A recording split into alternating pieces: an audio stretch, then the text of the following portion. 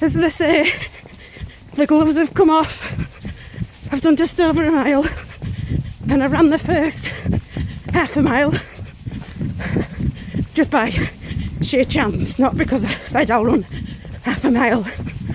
And then I've walked, jogged the other, when I say the gloves have come off, I think I'll be naked by the time I get home.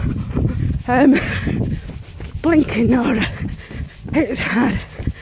I'm not, I'm not really jogging, it's like a, a weirdy walkie jog because I've got spazzy knees.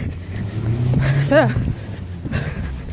I'm to get to the end of this, set me eyes on two yards, end of this little section,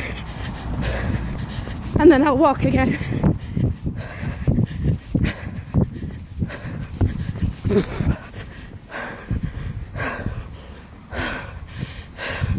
Sweat pledge.